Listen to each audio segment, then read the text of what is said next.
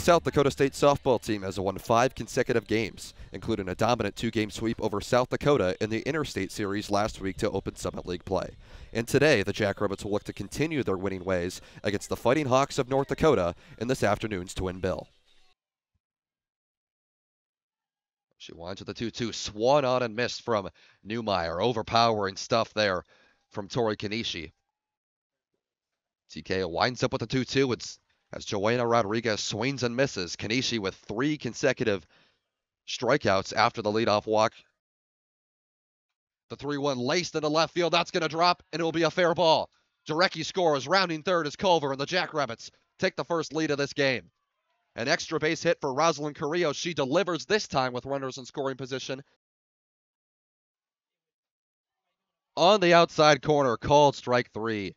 That outside corner has been friendly to Tori Kniesche all day. Swung on and missed.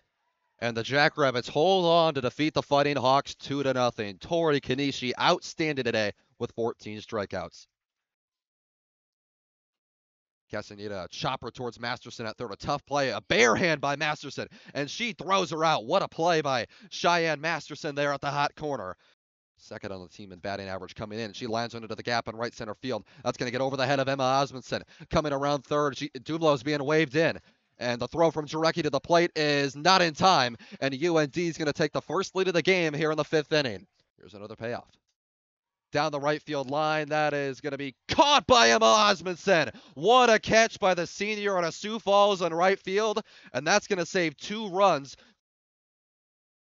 The one two into the turf gets by Dumont. Here comes the runner to the plate. Here's the flip to Williams. It is in time. Brooke Dumont to Alexa Williams to save a run. The Jackrabbits flashing the leather over the past couple of innings to keep the lead at one. Single, a strikeout, and a fielder's choice. Dunlo ground ball to short. Let's hit hard. Carrillo to Jarecki for one. On to first. That's a double play. Carrillo to Jarecki. Williams looking to make it two scoreless innings. Rodriguez punches one towards first. Madi Conklin a diving catch in foul territory. Carr delivers. Conklin into the air, left center field, going back to the wall. It's out of here! Madi Conklin a walk-off home run, and the Jackrabbits rally to win it two to one. Oh my! Madi Conklin's biggest hit as a Jackrabbit. Unbelievable! Madi Conklin's fourth hit of the season. Couldn't have come at a better time. And the Jackrabbits stun the Fighting Hawks here in Council Bluffs.